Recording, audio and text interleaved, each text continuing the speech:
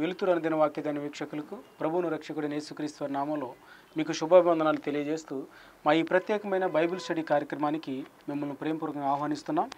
నాణ్యమైన మరియు వివరణాత్మకమైన బైబిల్ యొక్క బోధన అందించడం మా ఈ కార్యక్రమం యొక్క ముఖ్య ఉద్దేశం మాతో కలిసి ప్రతిదినం మీరు లేఖనాలను ధ్యానిస్తున్న విధానాన్ని బట్టి ప్రభుని మేము ఎంతగానో స్థుతిస్తున్నాం మనం యేసుక్రీస్తు ప్రభు యొక్క రాకడకు సంబంధించి నిన్నటి తరగతుల్లో మనం ప్రారంభించాం. మన సువర్ ఇరవై నాలుగో అధ్యాయాన్ని మనం ధ్యానం చేసుకుంటూ వస్తున్నాం. ఈరోజు మన ధ్యానాంశంలో భాగంగా మత్స్యవార్త ఇరవై నాలుగు అధ్యాయము ఇరవై తొమ్మిదవ వచనం నుంచి చిట్ట చివరి యాభై ఒకటో వచ్చిన వరకు మనం ధ్యానించాలి. ఇవి యేసుక్రీస్తు ప్రభువారి రాకడకు గుర్తులు సంబంధించి కొన్ని విషయాలు మనం నిన్నటి తరగతుల్లో మనం చూసాం దానిలో కొన్ని విషయాలు యేసుక్రీస్తు ప్రభువారి రాకడకు గుర్తుల్లో కరువులు వస్తాయని చూసాం దానికంటే ముందు రిలీజియస్గా అంటే మతపరంగా కొంత ఇంబ్యాలెన్స్ వస్తుంది అబద్ధ బోధలు పెచ్చిమీరుతూ ఉంటాయన్నారు. తర్వాత మిలిటరీ పరంగా పొలిటికల్గా కొంత ఇంబ్యాలెన్స్ అనేది ప్రపంచంలో చూస్తూ ఉంటామన్నారు. తర్వాత ప్రకృతి వైపరీత్యాలు న్యాచురల్ కెలామిటీస్ అనేవి వస్తాయి. సునామీలు యుద్ధాలు భూకంపాలు ఇవన్నీ కూడా అకాల వర్షాలు అకాల తుఫాన్లు ఇవన్నీ ప్రకృతి వైపరీత్యాలు వస్తూ ఉంటాయి. అనేకురు ప్రేమ సల్లారుతుంది. ఇవన్నీ మనం చూసుకుంటూ వచ్చి చిట్ట చివరిలో ఇరవై ఏడు ఇరవై ఎనిమిది వచనాల్లో మనం చూసాం. యేసుక్రీస్తు ప్రభు వారి యొక్క రాకడ అందరూ చూస్తున్నట్టుగా మెరుపు తూర్పును పుట్టి పడమటికి ఎలాగ వెళుతుందో తర్వాత పీనుగున చోట గెద్దలు ఏ విధంగా అయితే ఉంటాయో అందరూ చూస్తున్నట్టుగా విజిబుల్గా యేసుక్రీస్తు ప్రభు వారి యొక్క రాకడ ఉంటుంది. తప్ప సీక్రెట్గా ఉండదు అనేది ఎవరికీ కనిపించకుండా ఉండదు అనేది యేసుక్రీస్తు ప్రభు వారు సెలవిచ్చారు. కాబట్టి క్రీస్తు ఎక్కడున్నాడు అక్కడున్నాడు అని చెప్తే ఎవరో మీరు నమ్మొద్దు. అందరూ చూస్తున్నట్టుగా ఆయన వస్తాడు ఈ భూమి మీదకి అనేది మనం గమనించాలి. ఎందుకంటే అపుస్తుల కార్యాలయం మనం చూసాం ఆయన ఆరోహణమయ్యి వెళ్తూ వెళ్తున్నప్పుడు మొదటి అధ్యాయంలో దూత మాట్లాడుతూ ఉంటాడు ఇదిగో మీరు ఏ విధంగా అయితే యేసుక్రీస్తు ప్రభువారు ఆరోహణమై తండ్రి దగ్గరికి వెళ్ళటం చూస్తున్నారో అదే రీతిగా ఆయన మరలా తండ్రి దగ్గర నుంచి తన సంఘం కోసం ఈ భూమి మీదకి రాబోతున్నాడు. ఆయన వస్తున్నప్పుడు ప్రతి నేత్రం ఆయన చూస్తుంది ప్రతి మోకాలు ఆయన నామంలో వంగుతుందని అక్కడ దేవుని యొక్క దూత మాట్లాడటం మనం చూస్తున్నాం అయితే ఈరోజు మరికొన్ని గుర్తులు యేసుక్రీస్తు ప్రభు యొక్క రాకడకు సంబంధించి కొన్ని విషయాలు మనం చూడాలి. చూడండి యేసుక్రీస్తు ప్రభు రాకడకు సంబంధించి ఇరవై తొమ్మిది వచనంలో ఆ దినముల శ్రమ ముగిసిన వెంటనే అంటే మహా శ్రమలు చూసాం నిన్నటి త- తరగతుల్లో మహాశ్రమలు కూడా చూసాం. లోకం పుట్టినది మొదలుకొని నభూతో నభవిష్యత్ అన్న రీతిలో అటువంటి శ్రమలు మరి ఎప్పుడు అంతకుముందు సంభవించలేదు భవిష్యత్తులో కూడా సంభవింపు అటువంటి శ్రమలు ముగిసిన తర్వాత చీకటి సూర్యుని కమ్ముతుంది. చంద్రుడు కాంతినీయుడు. ఆకాశం నుండి నక్షత్రాలు రాలుతాయి. ఆకాశమండలి శక్తులు కదిలించబడతా ఉంటాయి. అంటే ఇంతకుముందు ఇది ఎప్పుడు కూడా జరిగి ఉండలేదు. ఏం జరుగుతుందంటే సూర్యుడు సూర్యుని చీకటి కమ్మేస్తుంది. వెలుగివ్వాల్సిన సూర్యుడు వెలుగివ్వకుండా చీకటమైపోతాడు చంద్రుడేమో ఎర్రగా కనిపిస్తూ ఉంటాడు. నక్షత్రాలు రాలి కింద పడిపోతూ ఉంటాయి. ఆకాశమందలి శక్తులు ఈ పంచభూతాలన్నీ ఏవైతే ఉన్నాయో అవన్నీ కూడా కదిలించబడతా ఉంటాయి. అంటే సో ప్రపంచం అంతా కూడా చీకటి కమ్ముకుంటుందంట. చంద్రుడు తెల్లగా చల్లగా కాంతినివ్వాల్సిన చంద్రుడు ఎర్రగా అయిపోతాడు. తర్వాత నక్షత్రాలన్నీ కూడా రాలిపోతూ ఉంటాయి. ఆకాశమందుల శక్తులన్నీ కూడా పంచిభూతాలన్నీ కూడా మిక్కుడుపు వేండడంతో లయమైపోతూ ఉంటాయి. ఇంత భయంకరమైన పరిస్థితులు జరుగుతాయి. కాబట్టి ముప్పై వర్షులు అంటాడు అప్పుడు మనుష్య కుమారుని సూచన ఆకాశమందు కనబడుతుంది. కాబట్టి ఇవన్నీ ఎప్పుడైతే జరిగాయో సూర్యుడు కాంతినివ్వకుండా నల్లగా అయిపోవటం తర్వాత చంద్రుడు ఎర్రగా అయిపోవటం నా- ఆకాశ నక్షత్రాలు రాలి పడిపోవటం ఆకాశమందల శక్తులు ఏవైతే ఉన్నాయో ఇన్విజిబుల్ ఫోర్సెస్ అన్నీ కూడా అవన్నీ కూడా మిక్కుట పేండడంతో లైవ్ అయిపోతూ ఉంటాయి. ఇవన్నీ జరుగుతున్నప్పుడంట అప్పుడు కనపడుతుందంట మనిషి కుమారుని యొక్క సూచన. మనిషి కుమారుడు ప్రభావంతోనూ మహామహిమతోనూ ఆకాశ మేఘారుడే వచ్చుట చూసి భూమి మీదనున్న సకల గోత్రం వాళ్ళు రొమ్ము కొట్టుకుందరు. ఇక్కడ చూస్తే మనుషు కుమారుని చూసిన ఆకాశం ముందు కనబడుతుంది. అప్పుడు మనుషు కుమారుడు ప్రభావంతో మహామహిమతో ఈ భూమి మీదకి వస్తూ ఉంటాడు. ఈ ముప్పై వచ్చిన ఆధారంగా చెప్తారు ర్యాప్చర్ లేదు అంటారు. అంటే సంఘం ఎత్తబడుట అనేది లేదు. ఎందుకంటే సంఘం ఈ భూమి మీద ఉంటుంది. యేసుక్రీస్తు ప్రభువారు విశ్వాసుల్ని అప్పటికే ఆల్రెడీ తనలో మరణించిన విశ్వాసుల్ని ఎవరైతే పరదేశిలో లేకపోతే దేవుని దగ్గర వాళ్ళు రెడీగా ఉన్నారో వాళ్ళ ఆత్మలు వాళ్ళకి మహిమ శరీరాలు ధరింపజేసుకొని వారితో పాటు వేవేల పరివారంగా యేసుక్రీస్తు ప్రభువారు ఈ భూమి మీదకి వస్తారు అనేది ముప్పై వచనం యొక్క సారాంశంగా మనం చూస్తాం. అంటే ఈ వచనం ఆధారంగా ఈ సంఘం ఎత్తబడట లేదు. సంఘం కోసం యేసుక్రీస్తు ప్రభువారు ఆ విశ్వాసులైన వారిని ఆల్రెడీ మరణించిన వారిని వెంట పెట్టుకుని భూమి మీదకి వస్తాడు. అనేది కొంతమంది దీని గురించి బైబిల్ పండితులు విశ్లేషిస్తూ ఉంటారు. అంటే ర్యాప్చర్ లేదు సంఘం ఎత్తబట్టు లేదు శ్రమల్లో విశ్వాసులకి లేవు అవిశ్వాసులకే ఉన్నాయి అని కొంతమంది దీని గురించి విశ్లేషణ చేస్తూ ఉంటారు. అయితే యేసుక్రీస్తు ప్రభువారు రావటం అనేది ఖచ్చితంగా జరుగుతుంది. ప్రతి నేత్రం ఆయన చూస్తుందంట భూమి మీద ఉన్న సకల గోత్రం వారు రొమ్ము కొట్టుకుంటారు. మరియు ఆయన గొప్ప బోరతోనూ తన దూతలను పంపును. వారు ఆకాశం యొక్క ఈ చివరి నుండి ఆ చివరి వరకు నలుదిక్కుల నుండి ఆయన ఏర్పరచుకున్న వారిని పోగు చేయను. మనుషు కుమారుడు యేసుక్రీస్తు ప్రభువారు మధ్య ఆకాశం మీదకి వచ్చి భూమి మీదకి వస్తూ వస్తూ ఏం చేస్తారంటే తన దూతలకు ఆజ్ఞాపిస్తారంట. వాళ్ళు భూమి యొక్క ఈ చివరి నుంచి ఆ చివరి వరకు వెళ్ళి విశ్వాసులందరినీ భోగు చేస్తూ ఉంటారు. వాళ్ళు ఆ పని చేస్తూ ఉంటారు అని దేవుడు సెలవిస్తూ ఉన్నాడు. కాబట్టి ఇది రాకడకు సంబంధించిన బేసిక్ పిక్చర్. ఒకటి మొదటి వచ్చిన నుంచి ముప్పై ఒకటి వచ్చిన వరకు మనం చూస్తే యేసుక్రీస్తు ప్రభు యొక్క రాకడకు సంబంధించి బేసిక్ పిక్చర్ అనేది దీన్ని బట్టి మనం చూడొచ్చు. చూడండి ముప్పై రెండో వచనాన్ని కనుక మనం చూస్తే ఇక్కడ ఒక ఉపమానాన్ని యేసుక్రీస్తు ప్రభు చెప్తున్నారు. ఆ ఉపమానం ఏంటంటే అంజూరపు చెట్టు ఉపమానం. ఏంటంటే ఆ ఉపమానం? అంజూరపు చెట్టును చూసి ఒక ఉపమానం నేర్చుకుని అంజూరపు కొమ్మ లేతదై చిగురించినప్పుడు వసంతకాలం ఇంకా సమీపంగా ఉన్నదని మీకు తెలియను. ఆ ప్రకారమే మీరు ఈ సంగతులన్నీ జరుగుట చూసినప్పుడు ఆయన సమీపంలోనే ద్వారం దగ్గరనే ఉన్నాడని తెలుసుకొనిడి. దేవుడు చెప్తున్నాడు అంజూరపు చెట్టుని కనుక మీరు చూస్తే అది చిగురిస్తా లేత లేతగా అప్పుడప్పుడే చిగురులు పెడతా ఉన్నప్పుడు మీరేమనుకుంటారంటే వసంతకాలం సమీపించింది ఇంకా త్వరలో వర్షాలు రాబోతూ ఉంటాయి అనేది అంజూరపు చెట్టుని చూస్తే మీకు అర్థమవుతుంది. ఎందుకంటే ఎరుసలేంలో అంజూరపు చెట్లు ఎక్కువగా ఉండే ఒలివెల చెట్లు కూడా ఎక్కువగా ఉండే. కాబట్టి అంజూరపు చెట్టుని చూసినప్పుడు అంట అది చిగురులు పెడుతుంది అని అనిపిస్తే కనుక ఇంకా వసంతకాలం దగ్గర ఉందని వాళ్ళకి ఈజీగా తెలిసిపోతుంది. అదొక సూచన వసంతకాలానికి. అలాగే యేసుప్రభు చెప్తున్నారు వసంతకాలాన్ని ఏ విధంగా అయితే మీరు గుర్తుపడుతున్నారో అంజరపు చెట్టును చూసి అలాగే ఇవన్నీ జరుగుతున్నప్పుడు ఏవన్నీ ఇంత గత తరగతుల్లో కూడా మనం చూసిన కరువులు భూకంపాలు తర్వాత మతానికి సంబంధించినవి ప్రకృతి వైపరీత్యాలు ఆ, ప్రేమ చల్లారిపోవటం ఆకాశంలో నక్షత్రాలు రాలి పడిపోవటం సూర్యుడు నలుపైపోవటం చంద్రుడు ఎరిపోయిపోవటం ఇవన్నీ చూస్తున్నప్పుడంట గుర్తుపెట్టుకోవాల్సిన సంగతి ఏంటంటే యేసుక్రీస్తు ప్రభువారు చాలా సమీపంగానే ఉన్నాడు ద్వారం దగ్గరే ఉన్నాడు మరొక క్షణంలో ఆయన రాబోతున్నాడని మీరు గుర్తుపెట్టుకొని ఎలర్ట్గా ఉండండి అని దేవుడు చెప్తున్నాడు. అంతేకాదు ముప్పై నాలుగు వచనంలో ఇవన్నీ జరిగే వరకు ఈ తరము గతింపదని నిశ్చయముగా మీతో చెప్తున్నాను.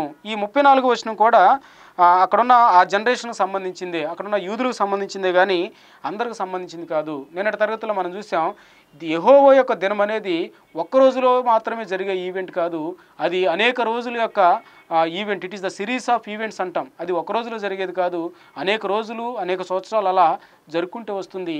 యేసుక్రీస్తు ప్రభువారు చెప్పే టైంకి అక్కడున్న తరం కొన్ని సూచనలు అక్కడ చూసింది. ఏ సూచన చూసింది? నిన్న తరగతులు చూసాం టైటస్ అనే చక్రవర్తి ఇరుసుల మీదకు దండెత్తి వచ్చినప్పుడు నాశనకరమైన హేయమైనది పందిని టెంపుల్లో పెట్టాడు. టెంపుల్ కూడా పడగొట్టాడు. యోదయాలో ఉన్న వాళ్ళు కొండలకు పారిపోయిన వాళ్ళు కొంతమంది ఉన్నారు. ఆ కొండలకు పారిపోయిన వాళ్ళు రక్షించబడ్డారు. మిగతా వాళ్ళందరినీ ఆ టైటస్ అనే చక్రవర్తి అందరినీ సంపే చేశాడు. కాబట్టి ఇవన్నీ అక్కడున్న తరం చూస్తుంది అని యేసుక్రీస్తు ప్రభు చెప్పారు. నిజంగా ఆ తరం చూసినట్టుగా చరిత్ర మనకు చెప్తుంది. ఇది ముప్పై నాలుగు వచనం. కాబట్టి ముప్పై నాలుగు వచనం అక్కడున్న జనరేషన్కి సంబంధించింది కానీ మనకు వర్తించదు అనేది ముద మనం గుర్తుపెట్టుకోవాలి. కాబట్టి ముప్పై రెండవ వచనంలో అంజూరపు చెట్టు అనేది ఒక ఎగ్జాంపుల్ దేవుడు చెప్తున్నాడు. మళ్ళీ ముప్పై ఏడో వచనంకి వచ్చేసేపాటికి మరొక ఉపమానాన్ని యేసుక్రీస్తు ప్రభు చెప్తున్నారు. దానికంటే ముందు ముప్పై ఐదు వచనం అంటాడు ఆకాశమును భూమియు గతించును కానీ నా మాటలు ఏమాత్రమును గతింపవు. దేవుడు అన్నాడు ఆకాశం భూమి గతించిపోతాయేమో కానీ ఆకాశమందల శక్తులు గతించిపోతాయేమో కానీ నక్షత్రాలు రాలిపోతాయేమో కానీ ఇవంతా కూడా డిజార్డర్లోకి వెళ్ళిపోతాయేమో కానీ సృష్టి అంతా ఇవన్నీ గతిస్తాయేమో కానీ నా మాటలు గతించవు. కాబట్టి నేను చెప్పిందంతా కూడా తూచే తప్పకుండా సున్నైనా కానీ పొల్లైనా కానీ పోకుండా ఖచ్చితంగా అవి జరిగి తీరతాయి అని యేసుప్రభు దాన్ని రూఢీకరిస్తున్నారు. కాబట్టి ఇవన్నీ ఎంత సత్యాలో మనం అర్థం చేసుకోవాలి. ఇవన్నీ జరుగుతూనే ఉన్నాయి కొన్ని జరగబోతూ ఉన్నాయి.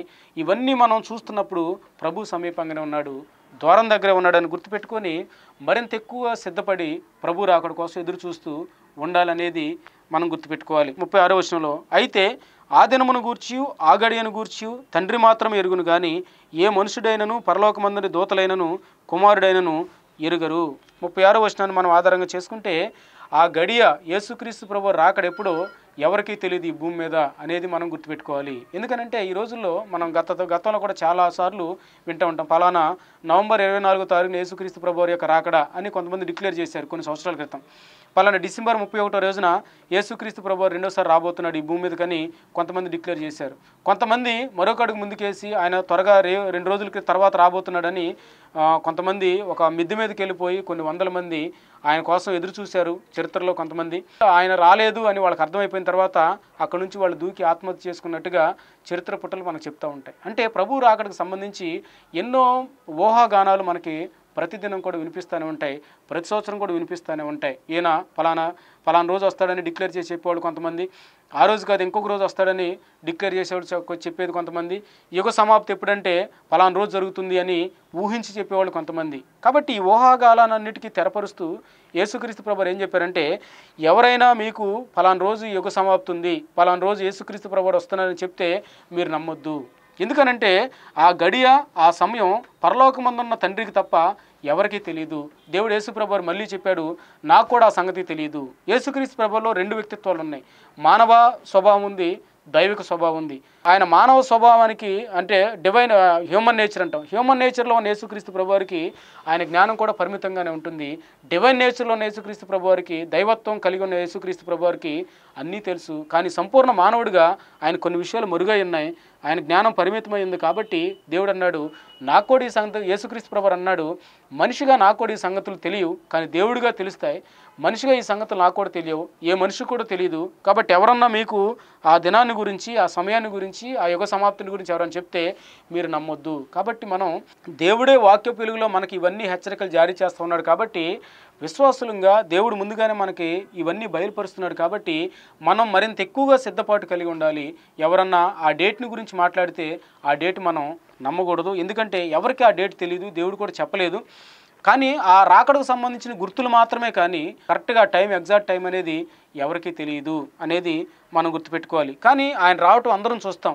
మెరుపు తూర్పును బుట్టి పడమటికి ఎలాగ వెళ్తుందో అలాగే ఆయన రాకడ ఉంటుంది విజిబుల్గా ఉంటుంది అందరూ చూస్తారు అనేది మనం ఆ తర్వాత కడబోర మోగుతుంది అది కూడా వింటాం. అంటే విజిబుల్గా ఉంటుంది వింటం కూడా జరుగుతుంది.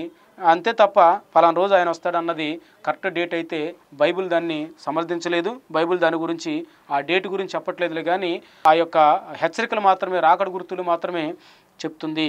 అయితే యేసుక్రీస్తు ప్రభు రెండో ఎగ్జాంపుల్ కూడా చెప్తున్నాడు. మొదటి ఎగ్జాంపుల్ ఏమో అంజరపు చెట్టు ఉపమానం చెప్పాడు. అంజరపు చెట్టు చూస్తున్నప్పుడు వసంతకాలం మీకు అది చిగురిస్తున్నప్పుడు వసంతకాలం వస్తుందని మీకు ఎలా తెలుస్తుందో ఈ సూచనలు అన్నీ జరుగుతున్నప్పుడు ప్రభు సమీపంగా ఉన్నాడు ద్వారంగా ద్వారం దగ్గరే తలుపు దగ్గరే ఉన్నట్టుగా ఉన్నాడు అతి సమీపంగా ఉన్నాడని మీరు గుర్తుపెట్టుకొని సిద్ధపడి ఉండండి అనేది మొదటి ఎగ్జాంపుల్ చెప్పాడు. రెండో ఎగ్జాంపుల్కి వెళ్తే మరొక ఎగ్జాంపుల్ యేసుక్రీస్తు ప్రభువారు సెలవిస్తూ ఉన్నాడు నోవాహు సంబంధించి ఇరవై ముప్పై ఏడు వచనంలో. నోవాహు దినములు ఎలాగుండునో మనుషు కుమారుని రాకడయు అలాగే ఉండును. జలప్రలయమునకు ముందటి దినముల్లో జలప్రలయమునకు ముందటి దినముల్లో నావాహు వాడలోనికి వెళ్ళిన దినం వరకు వారు తినుచు త్రాగుచు పెళ్ళి చేసుకొనుచు పెళ్ళికిచ్చుచు నుండి ఇలా ఉన్నారనమాట అంటే మనుషు కుమారు దినాలు ఎలా ఉంటాయంటే నావాహు దినాలు ఉన్నట్టుగా ఉంటాయి. నావాహు దినాల గురించి మనకు తెలుసు. పాత నిబంధనలో మనం ఆదికాండంలో కనుక చూస్తే నావాహుకి దేవుడు చెప్పాడు ఇదిగో ఈ తరం చాలా చెడ్డగా ఉంది. నా ఉగ్రత దీని మీద రాబోతుంది. ప్రచండమైన వర్షం కురిపించబోతున్నా. కాబట్టి ఆ వరదలతో ఆ ప్రపంచం అంతా వర్షంతో నశించిపోతుంది. నువ్వు నీ కోసం వాడ సిద్ధపరచుకో అని దేవుడు నోవాహుతో చెప్పాడు. అది సిద్ధపరచడానికి కొన్ని సంవత్సరాలు పట్టింది. ఆ టైంలో నోవాహు సువార్త ప్రకటించాడు. దేవుడు కూడా ఆత్మరూపుగా వెళ్ళి సువార్త ప్రకటించారు. వాళ్ళు కొట్టుకొని పోతున్నప్పుడు కూడా ఆత్మరూపుగా వెళ్ళి వాళ్ళకు సువార్త ప్రకటించారు. కానీ వాళ్ళు ఎవరూ దేవుని మాటను విశ్వసించలేదు. ఆ టైంలో ప్రజలు ఎలా ఉన్నారంటే ఇక్కడ మనం చూస్తాం ముప్పై ఎనిమిదో వర్షంలో జలప్రలయమునకు ముందటి దినముల్లో నోవాహు ఓడలోనికి వెళ్ళిన దినం వరకు వారు తినుచు త్రాగుచు పెండ్లి చేసుకొనుచు పెండ్లికిచ్చుచు నుండి ఇట్లా ఉన్నారన్నమాట? అంటే తింటున్నారు తాగుతున్నారు పెళ్ళి చేసుకుంటున్నారు పెళ్ళికి ఇచ్చుకుంటున్నారు అంటే వాళ్ళు అదే అక్కడున్న తాత్కాలికమైన జీవితం గురించి ఆలోచిస్తున్నారు కానీ దానికి మించి వాళ్ళు ఆలోచించలేకపోతున్నారు. జీవితం అక్కడి వరకే అనుకుంటున్నారు. తింటున్నారు తాగుతున్నారు సుఖిస్తూ ఉన్నారు. తర్వాత పెళ్ళి చేసుకుంటున్నారు పెళ్ళికిచ్చుకుంటున్నారు ఇల్లు కట్టుకుంటున్నారు ఇవన్నీ చేస్తూ మునిగిపోయారు కానీ పాపంలో మునిగిపోతున్నారు కానీ నిజంగా నోవాహు సువార్త ప్రకటించినప్పుడు కానీ దేవుడు సువార్త ప్రకటించినప్పుడు కానీ వారి పాపం నిమిత్తం ఏమాత్రం మారు మనసు పొంది వాళ్ళు పశ్చాత్తాపడలేదు. అందుకని దేవుడు అన్నాడు మనుషు కుమారుడు రాకడ ఎలా ఉంటుందంటే నోవాహు దినములు ఎలాగుండనో మనుషు కుమారుడు రాకడ కూడా అలాగే ఉంటుంది. నోవాహు టైంలో జలప్రలయం ఏ విధంగా అయితే సడన్గా వచ్చిందో మనుషు కుమారుడు రాకడ కూడా సడన్గా వస్తుంది అనేది రెండో ఎగ్జాంపుల్కి యేసుక్రీస్తు ప్రభు చెప్తున్నారు. ముప్పై ఎనిమిది వచ్చిన మనం చూస్తాం. జలప్రలయమునకు ముందటి దినముల్లో ముప్పై తొమ్మిది వచ్చిన జలప్రలయమును వచ్చి అందరినీ కొట్టుకొని పో వరకు ఎరుగక పోయిరి అలాగనే మనుషు కుమారు రాకడ ఉండును. ఇక్కడ చూస్తే కనుక నోవాహు జలప్రళయం ఎగ్జాంపుల్ మనం చూస్తే నోవాహు టైంలో ఉన్నట్టుగా ఉంటుంది. ప్రపంచాలు వరస్ట్గా తయారవుతాయి. నోవాహు టైంలో ఎంత వరస్ట్గా తయారైందో నోవాహు టైంలో ఎంత పాపం విస్తరించుకుంటూ వాయు వరుసలు కూడా మర్చిపోయారు. దేవుణ్ణి ఆరాధించడం మర్చిపోయారు దేవుణ్ణి ఎరగటం మర్చిపోయారు దేవుణ్ణి కాలదన్నారు ఇష్టానుసారంగా వాళ్ళు బ్రతికారు దానికి తగిన పనిష్మెంటు వాళ్ళకు వచ్చింది కాబట్టి నోవాహు టైంలో ఎలాగైతే ఉందో పరిస్థితులు ఇప్పుడు పరిస్థితులు కూడా అలాగే ఉంటాయి. యేసుప్రభు రాకడకు రెండో రాకడ వచ్చేటప్పటికి. కాబట్టి నేటి దినాల్లో మనం చూస్తే నోవాహు టైంలో కంటే కూడా ఎక్కువ వరస్ట్గా ఇప్పుడున్న పరిస్థితులు మనకు కనిపిస్తూ ఉంటాయి. జనులు తినుతూ త్రాగుచూ సుఖిస్తూ పెళ్ళి చేసుకొనుచు పెళ్ళికి ఇచ్చునుచు ఇవన్నీ కూడా ప్రకృతికి సంబంధించిన ఈ న్యాచురల్ థింగ్స్ అన్నిట్లో కూడా మునిగిపోయారు కానీ దేవుణ్ణి మర్చిపోయారు అనేది గుర్తుపెట్టుకోవాలి. అయితే నోవాహు టైంలో ఏ విధంగా వచ్చి ఏ విధంగా అయితే జనులు ఆ విధంగా మత్తులైనప్పుడు జలప్రలయం వచ్చి వాళ్ళని కొట్టుకొని పోయిందో టేకెన్ అవే అంటాం. అంటే వాళ్ళని తీసుకొని వెళ్ళిపోయింది జలప్రలయం. వాళ్ళందరూ చనిపోయారు. కొంతమంది విడిచిపెట్టబడ్డారు. అంటే నోవాహు కుటుంబం జలప్రలయంలో విడిచిపెట్టబడింది. మిగతా ప్రజలందరూ కూడా అక్కడ కొట్టుకొని పోయారు. అంటే అక్కడ కొంతమంది ఎత్తబడ్డారు. ఎత్తబడింది ఎవరంటే అవిశ్వాసులైన గుంపు ఎత్తబడ్డారు. విశ్వాసులైన నోవాహు మరియు నోవాహు భార్య నోవాహు కుటుంబం కొడుకులు కోడళ్ళు వీళ్ళందరూ విడవబడ్డారు. అంటే విడవబడిన వాళ్ళేమో బిలీవర్స్గా చూస్తాం నోవాహు టైంలో. కొట్టుకొని పోయిందేమో అన్బిలీవర్స్గా అవిశ్వాసులుగా మనం చూస్తూ ఉంటాం. దేవుడు అదే చెప్తున్నాడు. చూడండి కొంచెం మనం ముందుకెళ్తే ముప్పై తొమ్మిదో వచ్చిన మనం చూసాం నలభై వచ్చినలో. అంటే రాకడకు సంబంధించి విజిబుల్గా జరుగుతుంది అన్ఎక్స్పెక్టెడ్గా జరుగుతుంది మనం రెడీగా ఉండాలని చెప్తున్నారు. నలభై నలభై ఒకటి వచ్చినలో కనుక మనం చూస్తే ఆ కాలంలో ఇద్దరు పొలంలో ఉంటారు. ఒకడు తీసుకొని పోబడును ఒకడు విడిచిపెట్టబడు విడిచిపెట్టబడును. ఇద్దరు స్త్రీలు తిరగలు విసురుచుందరు ఒకటి తీసుకొని పోబడును ఒకటి విడిచిపెట్టబడును. ఈ నలభై వచనం మరియు నలభై ఒకటి వచనం మనం అర్థం చేసుకోవడానికి పైన ఉన్న నోవాహు స్టోరీ దగ్గరకు మనం వెళ్ళాలి. ముప్పై ఏడు వచ్చి నుంచి మనం చదవాలి. ఎందుకనంటే నోవాహు టైంలో జరిగినట్టుగానే ఇప్పుడు కూడా జరుగుతుంది అని యేసుక్రీస్తు ప్రభు చెప్పారు. నోవాహు టైంలో ఏం జరిగిందంట? కొంతమంది ఏమో తీసుకొని పోబడ్డారు కొంతమంది ఏమో విడిచిపెట్టబడ్డారు. విడిచిపెట్టబడిందేమో నోవాహు కుటుంబం విశ్వాసులు. తీసుకొని పోబడింది జలప్రలానికి కొట్టుకుపోయి నాశనం అయిపోయింది ఎవరంటే అవిశ్వాసులు. ఇక్కడ మనం ఇక్కడ ఈ వచనాలు మనం చూస్తే ఈ నేటి దినాల్లో చాలా సంఘాల్లో ఎవరో ఇటువంటి బోధ చేశారో తెలియదులే కానీ ఎలా సంఘాల్లోకి ఇటువంటి బోధ వచ్చిందో మనకు తెలియదులే కానీ ఇక్కడ ఎత్తుపడేదేమో విశ్వాసులు గుంపు అంటారు విడవబడేదేమో అవిశ్వాసులు గుంపు అంటారు. ఇది చాలా బాధలు సంఘంలో మనం చూస్తూనే ఉన్నాం. చిన్నప్పటి నుంచి వీటి గురించి మనం వింటూనే ఉన్నాం. కానీ ఇక్కడ మనం చూస్తే నలభై వచ్చిన నలభై ఒకటి వచ్చిన మనం జాగ్రత్తగా చూస్తే ముప్పై ఏడు ముప్పై ఎనిమిది ముప్పై తొమ్మిది వచనాల యొక్క వెలుగులో వీటిని మనం చూడాలి. ఎందుకంటే అవన్నీ ఒకే విషయాన్ని ధృవీకరిస్తూ వస్తున్నాయి. నోవాహు టైంలో జరిగినట్టుగా ఏ విధంగా అయితే కొంతమంది తీసుకొని పోబడ్డారు కొంతమంది విడవబడ్డారో అదేవిధంగా నలభై వచ్చిన ప్రకారం ఇద్దరు పొలంలో ఉంటారంట. ఒకడేమో కొట్టుకొని పోతాడు ఒకడేమో విడిచిపెట్టబడతాడు. నోవాహు టైంలో ఉన్నట్టుగానే కొంతమంది విడిచిపెట్టబడ్డారు కొంతమంది ఏమో తీసుకొని పోబడ్డారు. టేక్ అనేవే అని ఉంటుంది ఇంగ్లీష్ బైబిల్లో.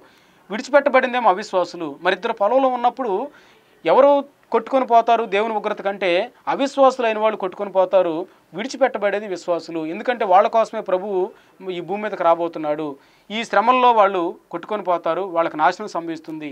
ఇద్దరు తిరగలు విసురుతూ ఉంటారంట ఒకతేమో కొట్టుకొని పోతుంది ఒకతేమో విడిచిపెట్టబడుతుంది. కాబట్టి విడిచిపెట్టబడేది విశ్వాసులు వారికి శ్రమలు లేవంటారు. కొట్టుకొని పోయేది లేకపోతే ఎత్తబడేదేమో అవిశ్వాసులు అని దీన్ని బట్టి మనం అర్థం చేసుకోవాలి. ఎలా మనంటే మనం నోవాహు టైంలో జరిగినట్టుగానే జరుగుతుందని యేసుప్రభు చెప్పారు. నోవాహు టైంలో మళ్ళీ మనం అదే చెప్తున్నాం. నోవాహు టైంలో విడిచిపెట్టబడింది నోవాహు కుటుంబం కొట్టుకొని పోయిందేమో అవిశ్వాసుల గుంపు. ఇప్పుడు కూడా యేసుప్రభు అదే చెప్తున్నారు. ఇద్దరు తిరగలు విసురుతూ ఉంటారు. ఒకళ్ళు విడిచిపెట్టబడతారు ఒకళ్ళు కొట్టుకొని పోతారు. ఇద్దరు పొలంలో ఉంటారు ఒకళ్ళు విడిచిపెట్టబడతారు ఒకళ్ళేమో ఎత్తబడతారు. ఎత్తబడతారనే మాటకి టేకిన్ అవే జలప్రలయానికి వాడిన మాటే ఇక్కడ కూడా వాడుతూ ఉంటారు. ఏ విధంగా అయితే వాళ్ళని కొట్టుకుని పోయిందో ఇక్కడ కూడా అవిశ్వాసులేమో ఎత్తబడతారు విశ్వాసులేమో విడబడతారు అనేది మనం గుర్తుపెట్టుకోవాలి. ఎందుకంటే ఇటువంటి రాంగ్ టీచింగ్స్ ఉన్నప్పుడు బైబిల్ యొక్క వెలుగులో మనం వాటిని చూడాలి అనేది గుర్తుపెట్టుకోవాలి. కాబట్టి విడిచిపెట్టబడింది బిలీవర్సు నాశనం చేయబడింది అన్బిలీవర్సు ఎత్తబడేది అన్బిలీవర్సు విడబడేది బిలీవర్సు నోవాహు సన్నివేశాన్ని బట్టి మనం అర్థం చేసుకోవచ్చు. కొంచెం మనం ముందుకెళ్దాం. నలభై రెండవ వచ్చిన దేవుడు అన్నాడు కావున ఏ దినమున మీ ప్రభు వచ్చునో మీకు తెలియదు కనుక మెలుగుగా ఉండండి. ఏ జామున దొంగ వచ్చునో ఇంటి యజమానునికి తెలిసి ఉండిన ఎడల అతడు మెలకుగా ఉండి తన ఇంటికి కన్నం వేయనీయడని మీరు ఎరుగుదురు. మీరు అనుకున్న గడియలో మనుషు కుమారుడు వచ్చును గనుకనే మీరు సిద్ధంగా ఉండండి. యేసుక్రీస్తు ప్రభు యొక్క రాకడకు సంబంధించి ఒక మాట చెప్తారు. యేసుక్రీస్తు ప్రభు దొంగలాగా వస్తాడని. యేసుక్రీస్తు ప్రభువారు దొంగలాగా రాడు. అంటే దొంగలాగా వస్తాడంటే దాని అర్థం ఏంటంటే ఆయన రాకడ అనేది అన్ఎక్స్పెక్టెడ్గా ఉంటుంది. అంటే దొంగ వచ్చేది ఇంటి యజమానికి తెలియదు. తెలిస్తే కనుక అవన్నీ సెక్యూరిటీ సిద్ధపెట్టుకో సిద్ధంగా ఉండి ఆ దొంగను ఎదుర్కోవడానికి రెడీగా ఉంటాడు. కానీ యేసుక్రీస్తు ప్రభు రాకడ దొంగలాగా వస్తుంది అంటే దాని అర్థం ఆయన ఎవరికీ తెలియకుండా కాముగా వస్తాడని కాదు. ఎందుకంటే నిన్నటి తరగతిలో మనం చూసాం ఆయన రాకడ మెరుపు తూర్పును బుట్టి పడమటికి ఎలాగుంటుందో కడబోర శబ్దం వినపడుతుంది ఆయన అందరికీ కనబడుతూనే వస్తాడు సీక్రెట్గానే జరగదు అది విజిబుల్గా జరుగుతుంది అందరూ దాన్ని చూస్తారు అనేది మనం అర్థం చేసుకున్నాం. ఇక్కడ దొంగలాగా వస్తాడు అంటే దాని అర్థం అన్ఎక్స్పెక్టెడ్గా వస్తారు. ఎవరు ఎక్స్పెక్ట్ చేయని గడిలో వస్తారు. అంటే ప్రపంచం సౌఖ్యంగా ఉంది సుఖంగా ఉంది ఏ లోటు లేదు ఏ కుదువు లేదు అంతా నెమ్మదిగా ఉంది అంతా ప్రశాంతంగా ఉంది అనుకున్న టైంలో మనం ఎక్స్పెక్ట్ చేయని టైంలో దేవుడు వస్తాడు అని చెప్పడానికి యేసుక్రీస్తు ప్రభు ఈ యొక్క అలంకారాన్ని వాడాడు. దొంగ ఏ విధంగా అయితే వస్తాడో ఏ జామున దొంగ వచ్చినో ఇంటి యజమానికి తెలియదు. కాబట్టి ప్రభు ఏ దినమున మీ ప్రభు వచ్చినో మీకు తెలియదు కనుక మెలకుగా ఉండండి. దొంగలాగా ఆయన వస్తాడు. అంటే అన్ఎక్స్పెక్టెడ్గా ఎవరు ఎక్స్పెక్ట్ చేయని టైంలో ఆయన వస్తాడు కాబట్టి మీరు సిద్ధంగా ఉండాలి. అందుకనే నలభై నాలుగు వచ్చిన మీరు అనుకున్నని గడియలో మనిషి కుమారుడు వచ్చిన కనుక మీరును సిద్ధంగా ఉండండి. సిద్ధంగా ఉండండి అంటే దాని అర్థం ఏంటంటే ప్రభువు మనకిచ్చిన పనిని మన శక్తి లోపం లేకుండా చేస్తూ నమ్మకంగా ఆయన రాకడ కోసం ఎదురు చూడాలి తప్ప దానికి ఏ విధమైన ఇంకా ఇంటర్ప్రిటేషన్స్ మనకు అవసరం లేదు. సిద్ధపడి ఉండటం అంటే దాని అర్థం అంటే ఆయన ఒకవేళ నేను నిద్ర కొంతమంది కొన్ని సంఘాల్లో ఈ విధంగా మాట్లాడుతూ ఉంటారు. ఏ విధంగా అంటే ఒకవేళ నేను నిద్రపోతా ఉంటే ఈ టైంలో ప్రభు వస్తే నన్ను నన్ను ఆయనతో పాటు తీసుకుని పోడేమో అని అనుకునే వాళ్ళు కొంతమంది. ఇప్పుడు నేను అనాలో నా పనులు నేను చేసుకుంటున్నా ప్రార్థన చేసుకోవట్లేదు నేను బైబిల్ చదవట్లేదు. ఈ రెండు పనులు చేయకుండా నా పనులు నేను చేసుకుంటున్నా. కాబట్టి ప్రభు ఈ సమయంలో వస్తే నేను నేను ఆయనతో పాటు నన్ను తీసుకుని వెళ్ళిపోవడేమో నన్ను నన్ను ఒకవేళ ఆయన వదిలేస్తాడేమో అన్న భ్రమలో వాళ్ళు ఉంటారు చాలామంది ఉంటారు. అంటే వాళ్ళు కొంతమంది ప్రార్థన చేస్తారు ప్రభా నన్ను నేను నిద్రపోతా ఉన్నా నన్ను విడిచిపెట్టొద్దు నన్ను నీతో పాటు తీసుకుని వెళ్ళు అన్న ప్రార్థనలు కూడా అమాయకంగా చాలామంది చేస్తూ ఉంటారు. గమనించండి యేసుక్రీస్తు ప్రభు వారు ఏ సమయంలో వచ్చినప్పటికీ ఆయన వచ్చే సమయంలో కొంత చీకటి కొంత కొన్ని దేశాల్లో చీకటిగానే ఉంటుంది. ఉదాహరణకి మన ఇండియాలో ఇప్పుడు పగలైతే అమెరికాలో చీకటి అయిపోతుంది వాళ్ళు నిద్రపోతూ ఉంటారు. మనకి చీకటైతే వాళ్ళకు వాళ్ళకి పగలు వాళ్ళు పనులు చేసుకుంటూ ఉంటారు. అంటే ఆయన వచ్చినప్పుడు సగం ప్రపంచం నిద్రలోనే ఉంటుంది సగం ప్రపంచం పనులు చేసుకుంటూనే ఉంటుంది. అయితే ఒక విశ్వాసగా నువ్వు యేసుక్రీస్తు రక్తంతో కడగబడ్డావు కాబట్టి నువ్వు నిద్రపోతున్నా మెలకుగా ఉన్నా లేకపోతే పనులు చేసుకుంటున్నా ఏ పని చేసుకున్నప్పుడు తనతో పాటు ఉంచుకుంటాడు నిన్ను తనతో పాటు యువగాలు పరలోక రాజ్యం తీసుకుని వెళ్తాడు. అంతే తప్ప నిన్ను ఏమాత్రం ఆయన విడిచిపెట్టడు. ఆయన యుగగాలు నీకోసమే మరణించాడు నీకోసం ఆయన రాబోతున్నాడు. నువ్వు నిద్రపోయినప్పటికీ నిన్ను ఆయన తీసుకుని వెళ్తాడు మహిమ శరీరాలు ధరింపజేసుకొని అనేది మనం గుర్తుపెట్టుకోవాలి. అంటే ఆయన దొంగలాగా వస్తాడు ఏ జామున వస్తాడో తెలియదు కాబట్టి సిద్ధపడి ఉండాలి. సిద్ధపడి ఉండాలంటే ఆయన చెప్పకుండా వస్తాడు. బీరెడీ మన డ్యూటీ మనం చేస్తూ దేవుడు మనకిచ్చిన ఆ టాస్క్ ఏదైతే ఉందో పని ఏదైతే ఉందో దాన్ని చక్కగా మన శక్తి లోపల లేకుండా చేస్తూ ముగించాలి. కాబట్టి ఆ విధంగా మనం సిద్ధపడి ఉండాలి తప్ప సోమరపోతులుగా ఉండకూడదు. ప్రపంచం అంతా ప్రశాంతంగా ఉంది. ప్రభు ఇప్పుడు రాడలే. ఎప్పటి నుంచో రెండు వేల సంవత్సరాల నుంచి వస్తాడు వస్తాడు వస్తాడని చెప్తానే ఉన్నారు. ఇప్పుడు కూడా ఇంకా ఆయన రాలేదు. చాలా టైం వస్తుందిలే. ఇంకా ఇంకా రెండు మూడు తరాల తర్వాత ఆయన వస్తాడన్న భ్రమలో ఉండేవాళ్ళు కొంతమంది. అలా అనుకోకూడదంట. ప్రభు సమీపంగా ఉన్నాడు. ఆయన రాకడెప్పుడో మన పోకడెప్పుడో ఎవరికీ తెలియదు. దొంగ వచ్చినట్టుగా ఆయన ఏ గడిలో వస్తాడో దొంగ తెలియదు. ప్రభు రాకడ కూడా అన్ఎక్స్పెక్టెడ్గా ఉంటుంది. ఆవాహు టైంలో ఉన్నట్టుగా. ప్రపంచం ఏ విధంగా అయితే వాళ్ళ పనులు వాళ్ళు మునిగిపోయారో ఆ టైంలో అనుకున్నని గడిలో ఆయన వస్తాడు. కాబట్టి మనం సిద్ధంగా ఉండాలి. ఆయన రాకడ కోసం ఎదురు చూడాలి. ఎక్కడి కోసం ఎదురు చూసి యోహాన్ చెప్పినట్టుగా ప్రభువా నువ్వు త్వరగా రమ్ము. ప్రభు యేసుక్రీస్తు నువ్వు త్వరగా రమ్ము అని మనం ధైర్యంగా చెప్పగలగాలి. ఆయన రాకడ భయపడకూడదు. ఆయన రాకడ కొంతమంది భయాన్ని కలిగిస్తుంది కొంతమందికి ఆశీర్వాదాన్ని ఇస్తుంది. విశ్వాసులు ఆయన రాకడ కోసం భయపడకూడదు. ఎందుకనంటే ప్రభువారి యొక్క రెండో రాకడ విశ్వాసులకి ఆశీర్వాదాలు ఇస్తుంది మేలుకరంగా సంభవిస్తుంది. ఎందుకంటే జడ్జిమెంట్ తర్వాత విశ్వాసుల్ని యుగయుగాలు తంత ఉంచుకోవడానికి ప్రభు ఆ, తీసుకుని వెళ్తాడు. అవిశ్వాసుల్ని నిత్య నరకాగ్నిగుండానికి అప్పగిస్తాడు. కాబట్టి అవిశ్వాసులు ఆయన రాకడకు భయపడాలి విశ్వాసులు ఆయన రాకడకు ఎదురు చూడాలి. ఎందుకంటే ఒక గుంపుకి అది శాపంగా పరిగణిస్తుంది ఒక గుంపుకి విశ్వాసులకి అది మేలుకరంగా పరిగణిస్తుంది అనేది మనం గమనించాలి. మరొక ఉపమానాన్ని దేవుడు ఇక్కడ చెప్పడం మనం చూస్తున్నాం. చూడండి నలభై ఐదో వచనంలో చూస్తే యజమానుడు తన ఇంటి వారికి తగిన వేళ అన్నం పెట్టుటకు వారిపైన ఉంచిన నమ్మకమైన వాడును బుద్ధిమంతు వాడినైన దాసుడెవడు?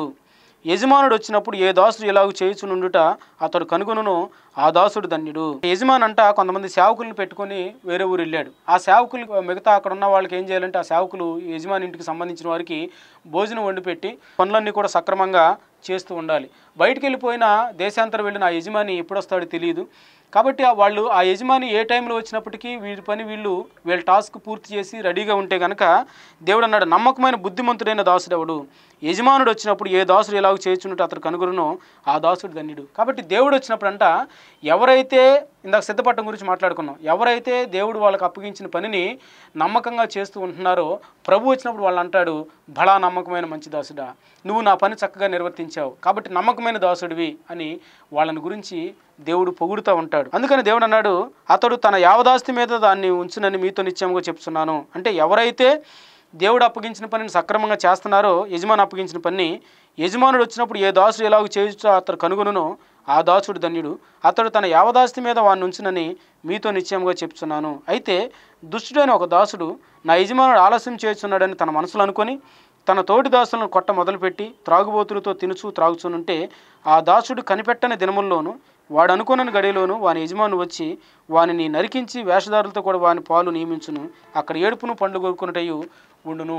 రెండు రకాల వ్యక్తులు ఉంటారంటే యేసుక్రీస్తు ప్రభు వచ్చినప్పుడు. సేవకుల్లో ఒకటి మంచి సేవకులు ఉంటారు రెండు దుష్టులైన చెడ్డ సేవకులు ఉంటారు మంచి సేవకులు అంటే ఎవరంటే ఎవరైతే ప్రభువారు అప్పగించిన పనిని నమ్మకంగా చేస్తూ వారి శక్తి లోపలేకుండా చేస్తూ ఈ సమయంలోనైనా ఏ సమయంలోనైనా సరే ప్రభు రాబోతున్నాడని గుర్తుపెట్టుకొని నమ్మకంగా దేవుని పని చేస్తూ వాళ్ళు దేవుడు అప్పగించిన పని నమ్మకంగా చేస్తారో వాళ్ళంట నమ్మకమైన మంచి దాసులంట కాబట్టి దేవుడు వాళ్ళని తన యావదాస్తి మీద అధికారిగా నియమిస్తాడంట. కానీ ఇంకొంతమంది ఉంటారంట. ఆ యజమానుడు ఆలోచన చేస్తాడు అని సోమరతనంగా దేవుడు అప్పగించిన పనిని సరిగా చేయకుండా తింటూ త్రాగుతూ సుఖించే కొంతమంది బ్యాచ్ ఉంటారు. దేవుడు అనుకున్న గడిలో వచ్చినప్పుడు వీళ్ళు అవ్వక్ అయిపోయి చూస్తూ ఉంటారు రొమ్ములు కొట్టుకుంటూ చూస్తూ ఉంటారు. దేవుడు వాళ్ళని చూసి అంటారంట దేవుడు వాళ్ళని చూసి అంటాడు చెడ్డదాసులారా చెడ్డదాసులారా మీరు చెడ్డదాసులు మధ్యించిన పని మీరు నమ్మకంగా చేయలేదు కాబట్టి ఇదిగో మీరు యోగాలు కాలే నరకాగ్నిగుండానికి మీరు వెళ్ళండి అక్కడ ఏడుపును పండ్లు కొరుక్కున్నటయు ఉంటాయి అని రెండు రకాల సేవకులు అంటే మంచి సేవకులు దుష్టులైన సేవకులు. మంచి సేవకులు అంటే విశ్వాసులు లేకపోతే నమ్మకంగా ఆయన రాకడ కోసం ఎదురు చూసేవాళ్ళు. చెడ్డవాళ్ళు అంటే అవిశ్వాసులు లేకపోతే వాళ్ళ స్వార్థం కోసం సేవ చేసేవాళ్ళు వీళ్ళందరూ ప్రభువారి యొక్క రాకడలో తేలిపోతుంటారు. వీళ్ళు ఆలస్యం అవుతుందిలేని సోమరతనాన్ని ప్రదర్శించి దేవుడు అప్పగించిన పని నమ్మకంగా చేయకపోతే దెర్ ఇస్ ఎ పనిష్మెంట్ దేవుడు పనిష్మెంట్ ఇస్తాడు. కాబట్టి ప్రభువారి యొక్క రాకడ రెండు విషయాలు ఇస్తుంది. ఒకటి బ్లెస్సింగ్స్ ఇస్తుంది. రెండు పనిష్మెంట్ ఇస్తుంది. బ్లెస్సింగ్స్ ఏమో బిలీవర్స్కి ఇస్తుంది. ఆశీర్వాదాలేమో బిలీవర్స్కి ఇస్తుంది. శిక్ష ఏమో అవిశ్వాసులకి దేవుడు కలుగు చేస్తాడు అనేది గుర్తుపెట్టుకొని మనం యహోవా దినం కొరకు ఎదురు చూసే వారంగా ప్రభు గారి యొక్క రాకడ కోసం ఎదురు చూసేవారంగా అనేక మంది నశించిపోతూ ఉంటే వారికి ఇంకా మన సువార్త చెప్పి వారి కోసం భారంగా ప్రార్థించి ప్రార్థనాపూర్వకంగా ప్రభు మనకు అప్పగించిన పని నమ్మకంగా చేస్తూ ఆయన రాకడ కోసం మనం ఎదురు చూసేవాళ్ళంగా ఉండాలి. కాబట్టి మనందరం పగటి సంబంధంలాగా ఉండాలి. ఎందుకంటే ఒక యావరేజ్ మనిషి పగలేమో పని చేసుకుంటాడు రాత్రేమో నిద్రకు ఉపక్రమిస్తాడు. కాబట్టి మనం పగటి సంబంధంలాగా మెలగాలి రాత్రి సంబంధంలాగా లేకపోతే ఆవార బ్యాచ్ లాగా మనం ఉండకూడదని దేవుడు సెలవిస్తున్నాడు. కాబట్టి మనం ఆయన రాకడ కోసం ఎదురు చూస్తూ దేవుడు అప్పగించిన పని మనం శక్తి లోపలేకుండా చేద్దాం. తద్వారా దేవుడి ఇచ్చే ఆశీర్వాదాలు ఆయన రాకడ సం